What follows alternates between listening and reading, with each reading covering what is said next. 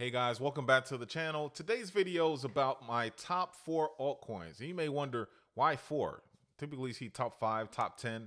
Here is the top five. The first one is going to be obvious if you watch the channel. And then I have four altcoins that will follow. And this is how I'm planning out my investment strategy for the end of the year and quite possibly until next year, until the bull market starts and it's in full force. These are the top five projects that I'll be getting into. So guys, if you like the video, please hit the like button. It means a lot to me. And if you want to see more of my content, subscribe to the channel. So let's get into it. Let's take a look at my top five projects here. Let me know what you think. All right. So if we're going into uh, CoinMarketCap currently, we see CoinMarketCap currently the Fear and Greed Index. Today's not a good day. We're at 49, tick down a little bit. Uh, the top mover for today was C, Never even heard of this, but it's apparently it's an L1. Um, I may take a look at this later, but right now we're focusing on the top five. Um, I always say less is more. Instead of spreading my, you know, my uh, earnings and, and my investments out from 10, 15 coins, I want to focus on five and five and go heavy on them, have a lot of tokens. And if there are five promising projects, I think that my portfolio will do well next year and 2025. So Bitcoin's at number one, Bitcoin surprisingly went under 29,000. It stands at 28 814, which is a good, good, good time to DCA. And since we're talking about Bitcoin, let's get right into it. This is one of my first coins. So Bitcoin, I treat Bitcoin as a 401k. I also have a 401k with my employer, and let me tell you, I think Bitcoin is outperforming what I have in my 401k. Um, Bitcoin is a safe one. Um, right now, it's the only one as far as the U.S. goes. They're not declaring declaring that as a security. Um, we have spot ETFs coming up, so we'll see what happens with that. But some of the other factors as to why I invest in Bitcoin is because it's deflationary. You know, we see everything going on with the world economy, and if you watch the channel, you'll know that I'm not a tech. I'm, I'm not a tech guy. I'm not a. Um, I shouldn't say tech guy. I'm not a charts guy. Um, I'm more of a macro economics type person. I look at current events, look at world events, and see how that impacts the economy and my investments. But Bitcoin, if you look at it and look at the world in total, China right now, this article here is saying that they're hiding key data to pretend its economy is doing okay. But a lot of reports are right now they're in a deflationary mode. Deflationary mode is where your economy is just not growing and people aren't buying. They're holding on to their money. And in order to, you know, try to get people to spend money and to spur up the economy, what they do is they start cutting rates. And then after they start cutting rates, they start printing more money, printing more money. What's that going to do? Deflate the value of your dollar, in this case, yen. So that's one thing, right? And then if we look over here in the US, if we look at the current US national debt, currently stands at $32 trillion. Not billion, I said trillion, right? And the debt is just ballooning out of control. Um, at some point, you know, we're going to pivot next year, and they're going to cut rates again, and then the printer has to come on. Um, there's no way we can service all this debt without printing more money. And when that happens, the value of the dollar will decrease. And we've already seen it. You know, things we used to buy five years ago for a certain price, even if you look at something as simple as McDonald's, um, you know, a Big Mac used to cost whatever it was, and now it's almost 50% more. That's just, you know, just everyday things that you see. Everything's more much that much more expensive. And Bitcoin since its inception has gone up. Trajectory is up. So when I invest in Bitcoin, I think it's the safest crypto out there for me. And I know that whatever, let's say I put $100 in it today, that I know five years from now, that $100 is going to be a lot more versus me putting $100 maybe, you know, under my couch, having it in a safe somewhere. What would that $100, the purchasing power of that be in five years versus Bitcoin? To me, the you know the the answer is pretty clear. So Bitcoin for me is the safest, and that's my number one investment. I made another video just saying that for the month of August, I will be DCAing primarily into Bitcoin. Come September, we're gonna start talking about these other coins that uh, we're gonna list here later. Um, so Bitcoin is is taking off. You see the new addresses, um, and the new addresses here will be what you see highlighted in the orange, and you just see trajectories going up. It's going up. People are taking notice and they're recognizing they don't want to be left behind. This is a very, very scarce asset, and I think the sky's the limit. You know, if you can get a little bit, just get some and forget about it. Like I said, I treat it as a 401k. The next one is going to be ETH. again, I know it's probably boring. It's not the old coins that you guys probably want to hear about. But again, I'm in for it. You know, I want to be safe. I want to do um, invest in things that I know that come times when it switches and we are in the bull market full force 2024, 2025, that I'm getting a minimum 5% or 5x on my um, on my investments. And ETH right now, you can't talk um, smart contract L1 without talking about ETH. Um, it's deflationary now. It's burning. Um, you know, it, it's everything runs on ETH. DeFi pretty much is ETH, runs on ETH. It's the big one. NFTs, everything you name it, it's on ETH. And the price right now is currently standing at 1807. Um, and it's been pretty steady. You know, I've never seen I've seen ETH go up to almost 2000, 1900, but it's been pretty much at that 1800 mark within the 1800s for throughout this bull market or bear market rather. So it's a pretty steady thing. Um, and if you look at the price history here, um, so we look at the peak, it was up to four grand, I want to say. Yeah, four grand, 4,100. Now it's back down to 1,800. You know, with everything that's going on with crypto, and I believe that the uh, market cap is definitely going to increase. I could see ETH going up to 10, 15,000. At least that's what the predictions are. So it's another safe one. Um, everything pretty much runs on ETH. All these other L1s, they're trying to be interoperable with them. You have EVM. A lot of different chains want to compete or um, communicate with Ethereum. It's just a, a winner to me. If we look at DeFi, you see that ETH currently stands at number one. Number one. Number two is Tron, but that's, you know, Justin Sun. We don't talk about him or anything that he touches. But other than that, you have Arbitrum, Polygon, Optimism, and these are the L2s that run on top of ETH. So ETH is the big dog. And if you look at the TVL, 23.8 billion. 23.8 billion. The next L1 that's even, you know, somewhat close to that, that's not ETH related, would be Avalanche. And then after that, Solana. So ETH, a lot of good things. And then I talked about the burning. Look at this. You see that? The ETH supply. This is going down, not going up. So, so far this year, ETH, 817,000 ETH has been burned. 817,000. So deflationary. And, you know, when ETH went up to 4,000 last bull cycle, it wasn't deflationary like it is now.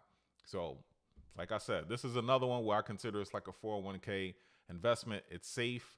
And I know that I'm going to get some returns. It's not going anywhere. So I, I truly believe in ETH. That's my number two.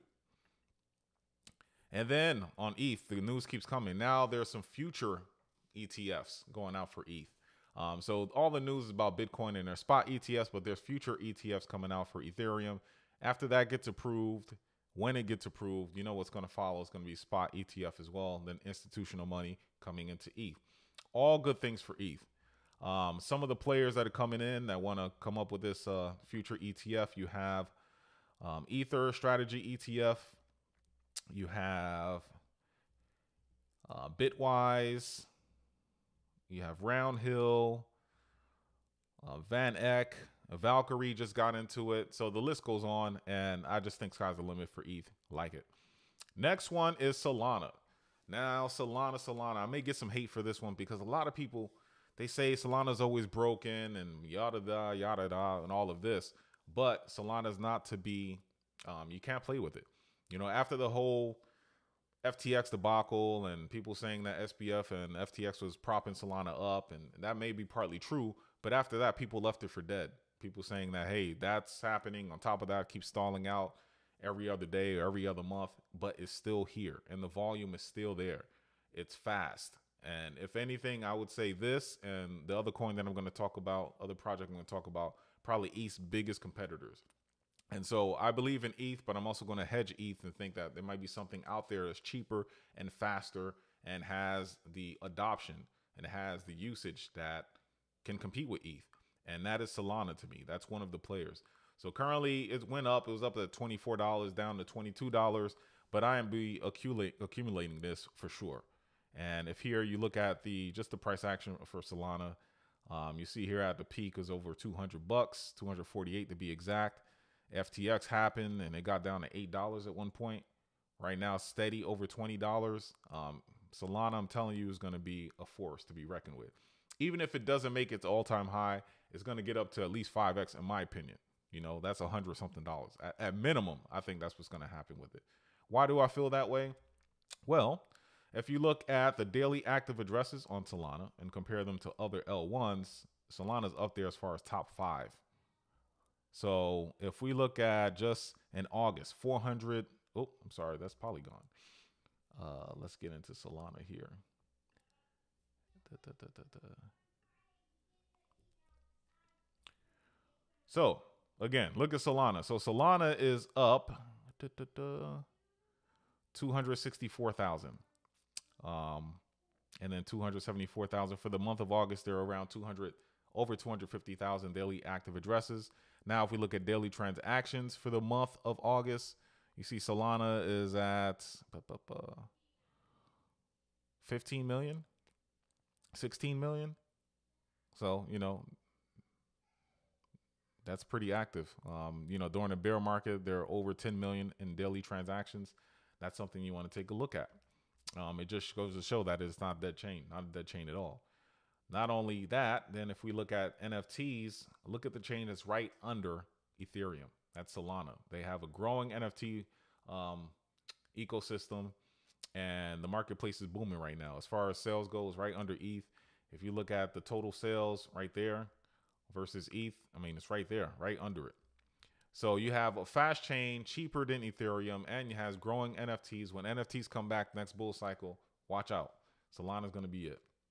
And then also, this is just a comparison chart. Look at the speed, the TPS 65,000. You know, they have something called Firedancer coming out. That's with Jump Crypto. And if that comes out, when they tested it during the conference, they had a TPS that registered at over a million TPS something to think about and just you know do your own research take a look at it look up Firedancer, do some research on it and if that pans out that's going to be serious you know not to mention they have the partnerships going on um, i just like solana i don't care what anyone else says but I, I like it a lot so that's what we got for solana the next one is cardano ada ada you either love it or hate it. You know, people that are Cardano fans, they're just fanatics. They believe in the project. They like Charles. They know what they're trying to do with the world you know, try to bank the unbanked. Um, they see everything that's happening with the chain. It's scientific, methodical. They're taking the time. They want to get it right. And for some people, that's too slow. But you know, now they're working on side chains, and I talked about Midnight, how that's going to be with kind of privacy. And we have Hydra that's coming out that's going to help scale. Sky's the limit for Cardano, and their TVL's gaining. You know, a TVL at one point they were outside the 20 top 20. Now they're within the top 20.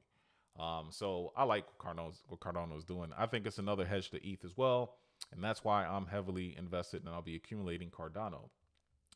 Now, this is the Achilles heel. Right now, daily active addresses, when you compare it to other L1s, it is kind of low. I'm not going to front on that. That is low right there. So for the month of August, you're at 31,000, you know, 33,000.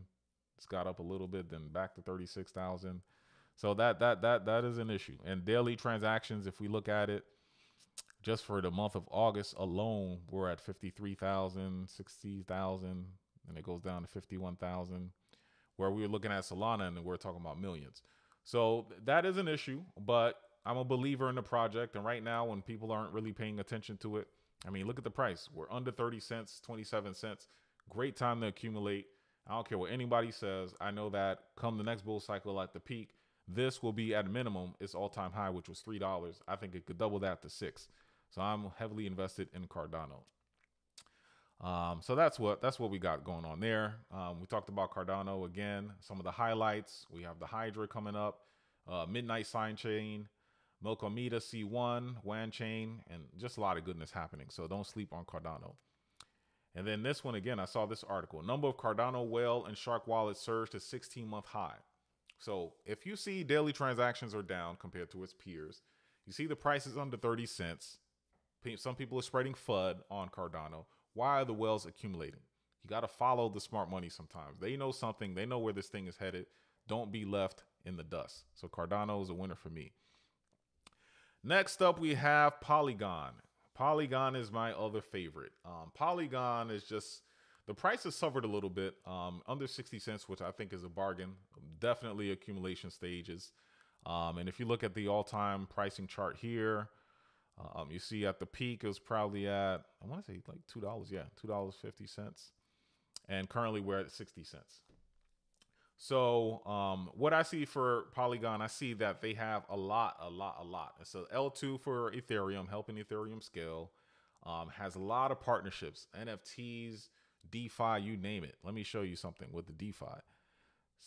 So uh, DeFi wise, they are. Bu- Oh, I just had it. Let's look at coin DeFi market.